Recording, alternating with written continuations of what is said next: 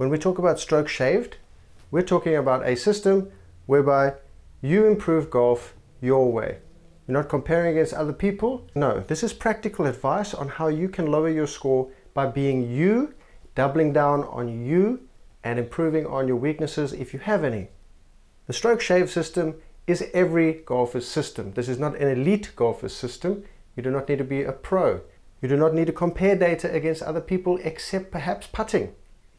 The rest of this is all up to you. What is the stroke shave system? This is a system whereby we find ways for you to slash strokes in your game quickly, thereby building confidence. When you build confidence in golf by slashing the strokes quickly, you then move up in skill very quickly. Stroke shave system allows you to find quick wins in your game, low hanging fruit for another cliche, quick wins, to reduce your score quickly so that you can build confidence. A lot of people are stuck where they are because they're following junk. A lot of people are following junk by putting all the blame on mechanics, on statistics, on data, on talent versus my lack of talent. Nobody was born swinging a golf club when they came out of the womb, unfortunately. So please, drop all pretenses. This is about you. The stroke shave system is about your game, how to find quick things to improve and thereby building confidence. And once you build the confidence, you improve at a rapid rate, adjusting as you go. The system works from high handicap to low handicap. You need to be conscious though all the time. You cannot put the responsibility onto someone else, onto some other third party thing.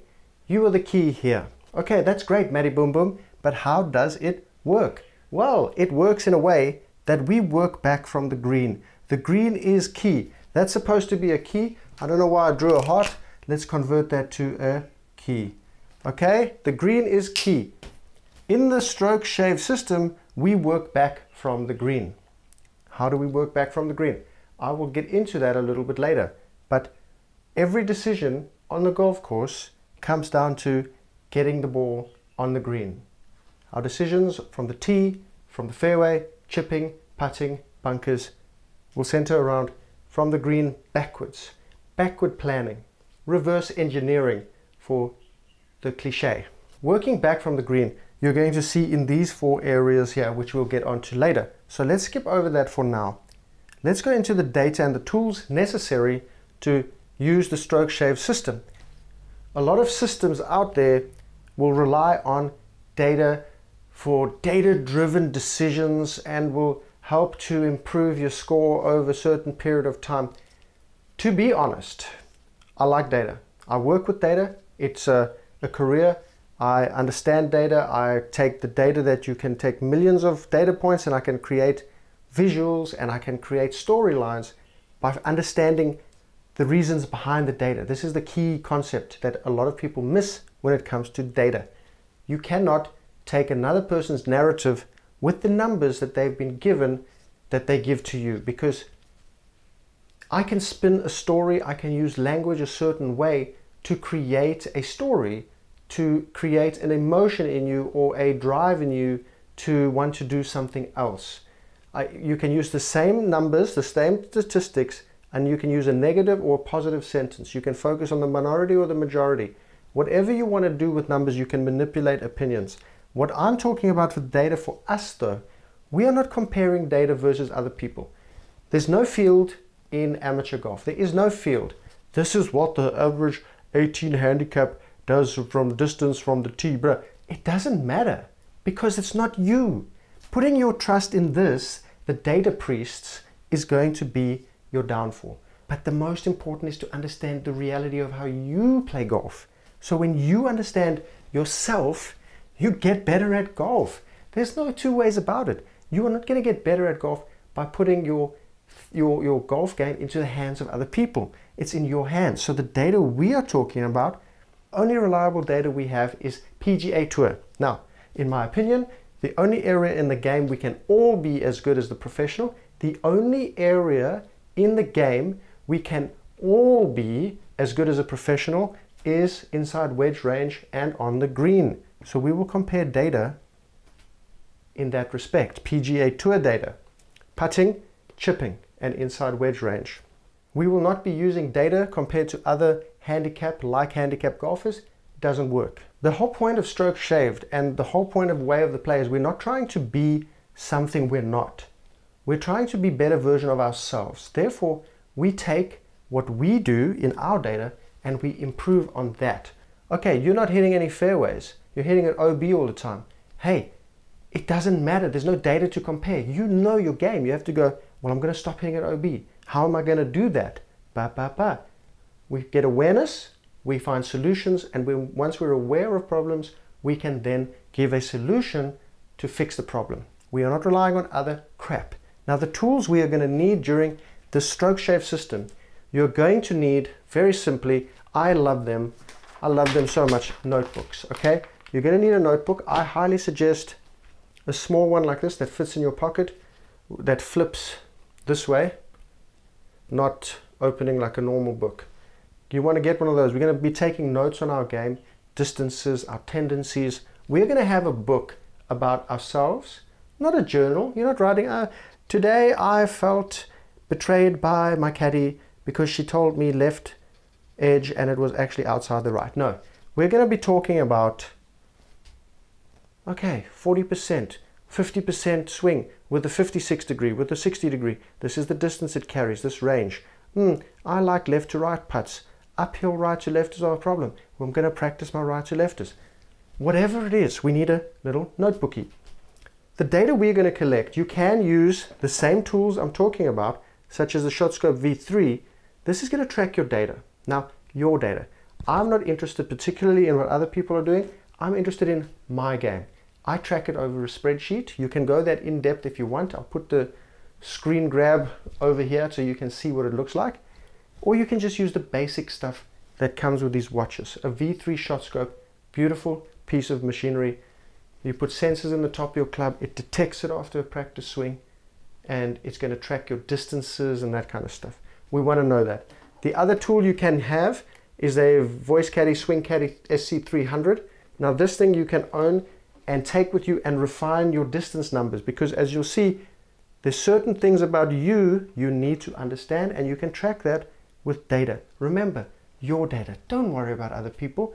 You know, when I came back to golf, I hadn't played in about five or six years. I was hitting my six iron, and the other dude, definitely not swinging much faster than me, was hitting a freaking eight or seven iron. I'm like, what's going on here? Now, me comparing to him was incorrect because his clubs were five or six degrees lower loft than mine. I didn't know that. So that's where data and imperfect data and imperfect understanding of the data will lead to bad decisions. Because in my jobs that I've done before and that I still do, the basic rule in data is that you need perfect data to create the perfect story, to create the true story, so you can understand what's going on. If you create the best story, the best narrative, the best understanding of the data, but the data is not perfect, then your story is wrong. Then what is the point? That's the point. The other tool you want to have is a rangefinder. This is the ShotScope Pro LX. I really like it. It's a very accurate and very quick um, piece of machinery. Now these don't track anything. That's just for you to understand, okay? So you're getting your distances from a watch or from a um, launch monitor and then you're using that on the course to be able to find distances to things and use the, the understanding of your distances and your data and your shot tendencies from your notebook to plan on the golf course with the rangefinder. You can use the watch to plan, up to you. I would recommend the watch for anybody above basically a, a single digit handicap, so 10 plus, just use the watch, front, middle and back of the green. The rangefinder I would recommend if you really do need more specific distances. I find it, it's for me it's the best, but it's up to you. Now, the next part of the stroke shave system and literally any system, any training, any lessons you take, you have to commit and believe. You have to have commitment, you have to have belief. If you do not believe this will work, you do not need to give me five reasons why it won't. One reason is enough. stay at home. Don't try it. It's okay. Live in delusion. I don't mind. But you have to commit. You have to first believe it works. So you give it a try, trust, verify. Keep what's good, don't use what's not good. Very simple, very simple thing. It's a journey. Golf is a journey. It never stops. You will never understand golf. You will die. You will die one day not understanding fully golf. And you will never be perfect at golf. Golf is not a game of perfect, but you have to commit. It doesn't matter what anybody tells you that works. This is the reason why you try something for two, three rounds, five months, six months, it works. It works. And then slowly you start slipping back to what you used to do because you lost the commitment to the process. You lost the commitment to the lesson. You cannot lose commitment. When I talk about commitment, what are we talking about in commitment, players? We are talking about commitment to the process. We're talking commitment to the shot, to the round, to the method. We're talking about commitment to your pre-round, your post-round. We're talking about commitment to your thoughts, we're talking about commitment to every single aspect of golf. When you arrive, are you there in time to not rush? Do you leave? Do you pack up your stuff and then make it ready for the next round without having to do anything at home? No stress. Just throw the clubs in the car and go play. Are you committing to the method we're going to talk about? Or are you going FOMO, YOLO, and you're trying to find 700 other reasons why it doesn't work? Then it's not going to work. Are you committed to your round? Are you committed to each shot in the round? Are you committed to your process that, that leads to every shot? Your process that leads to every shot, which makes an entire whole, your whole plan.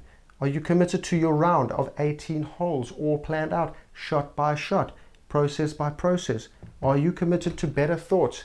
Are you committed to being able to think differently and accept the fact that you are the key to better golf? You are the key to better golf. I don't give two eine kleine Scheißes what anybody talks about.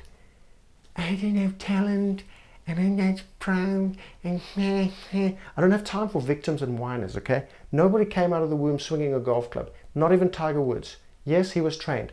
People who hit the ball better than you, they had fathers who were throwing balls and they were playing bat and ball sports. Maybe they didn't. Maybe they had a lot of friends and they used to go play baseball, cricket, hockey, whatever it was.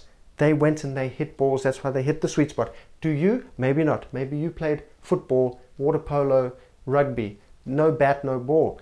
Doesn't matter. You can still get better at golf. Anybody can get better at golf. If you've been stuck for 10 years, 15 years, 5 years, 20 years, it's because nobody's giving you the good news. This is part of the good news. But you need to commit.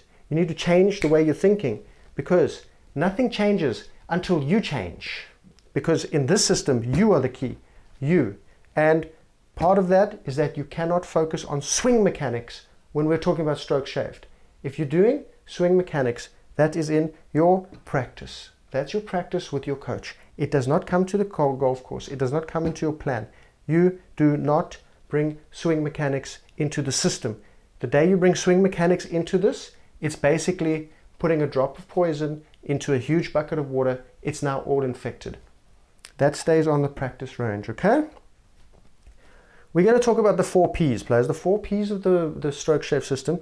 Play, plan, practice, psych, E, psyche. And the fifth one, which encompasses all of this, is a process. So it's really five P's, with this one being the biggest capital P. We're going to talk about this in depth. Play, back from the green, using your data, committing, and making it about you. All four of these plus the process will include all of this. Please stay tuned because we're going to get into the weeds with this stuff. And if you're not ready, that's okay. Come to the light side of life. Stroke shave system, we don't need none of that education. Okay, we don't need no education. All we need is a dacha plantation. Now in the stroke shave system, you are the key to better golf. You are the key to improving your golf. You. Now what do we mean by you? Very uh, okay, that sounds a bit new agey. No, that's number one. This is a prerequisite. You have to understand yourself. You have to understand you. You have to understand you. You don't have to be anybody else in the stroke shave system, But you need to firstly know your distances. If you can get the ball airborne relatively often, maybe 80%, 70% of the time, you're starting to hit the center of the club face, you need to know your distance. If you're a very good golfer, you still need to know your distances. A lot of people are, are in delusion about their distance. They take their rollout distance. No, we only want to know carry distance specifically here in the system. Of course, you want to know your rollout distance, but you need to start with carry. Once you know how you can carry the ball, you can then start to plan. Without this information, we cannot plan. Planning is part of the stroke shave system to work back from the green. Without a plan, you are lost. And if you're playing whack fuck, you're probably not going to be scoring your best score. You need to plan. If you plan, you can't play whack fuck because you planned it. Because you knew about yourself. The whole point of Wadda Playa, way of the player, stroke shave system is to learn about yourself. Now, not only do we need to know our distances, we need to know our shot shape. What is your shot shape? Now, I don't mean your general shot shape. Of course I do, but I also mean your general shot shape by each club. Do you see how granular this is? You are unaware currently of your game. You are unaware. What I'm trying to do is bring you an awareness. If I can bring you an awareness to your game, you create new solutions. You start to get better understanding. Now, the distance is key. The shot shape with each club is key. You want to know what each club does. My seven wood draws only. It doesn't do anything else. It only draws. The shaft very flexible. My irons generally are quite straightish. Sometimes when I'm trying to step on one, I hit a slight tug, little tug. That's why it goes a little further. And I close the face off a little bit, maybe smother it a bit. It goes a little left, but I know that. So like when I try hit a, a 9 iron 165, I know I'm stepping on it, so I am just a little bit right. It pulls it over to the left. You want to know your shot shape with every club. But on top of that, you want to know your tendencies. Should all be going into your notebook, okay? Whatever you do, you need that little notebook. You know, the little one like this with the little rings here that flips over. You want to be jotting this stuff down. Now your tendencies, we're not talking just about freaking, I like to drink a coffee before the before the round. I know, I'm talking about your shot tendencies. How about when you're in the first four holes? What are you doing in the first four holes? How, what happens to your shots in the first four holes? Do you have a specific shape? Do you hit it 10 yards? Do you hit it 10 yards less? Do you hit a fader, but then it straightens up throughout the round? What are you doing when you're tired? And I mean, you know, you can be exhausted from um, not sleeping. You can be just fatigued from potentially exercise. Potentially you're unfit and you're playing around and, and you know what happens when you start to feel tired in the muscles. What do you do? My first four holes, I know I'm probably going to lose about five to 10 yards, so I just club up. In the first four holes, I'm not sure what shape's coming out, so I'm aiming straight down the center of the green. If it fades off to the right side or draws to the left side, we'll be okay. Once the round goes on and I establish where the ball's going, then we can start planning nicely. But in those first four, we understand we're going to be scrambling a little bit just to get through them, to warm up. Okay, because I don't go to the range. There's not many ranges at the courses here. And I play I tee off also about 6.30. Now, if I have not slept enough, I know. I can't use a 60 degree, 58 degree around the greens ever. It's going to be a failure. It's the first thing that goes. My putting also needs extra concentration on staying still, committing, not rushing because I'm exhausted, I'm tired. Now, when it comes to that, that's mainly short game. When I'm fatigued or I'm tired or I'm unfit, I know that the ball starts going leftish. I know that. I know that because I get a bit lazy on the turn. I just smother it or whatever I do. I don't know. But I know it goes left. We need to know our tendencies. You have to understand that. You see your tendencies when you're tired or exhausted. When you haven't slept enough, that's nothing you can do. But you can go to start sleeping earlier. Stop having that extra beer. Stop having that extra wine at night or, or staying up for pointless things, scrolling through, scrolling through Instagram or whatever. You can change. When you're fatigued, you're not fit enough. You're, you're breathing heavy. You, you, you're not able to make it the whole way around the course. Potentially you're getting hungry. What happens when you're hungry? What happens when you're hungry? Okay, did you bring a, a, a, nutritious snack or did you bring sugar to the course? These are the things you want to establish about yourself. Listen to yourself and change them.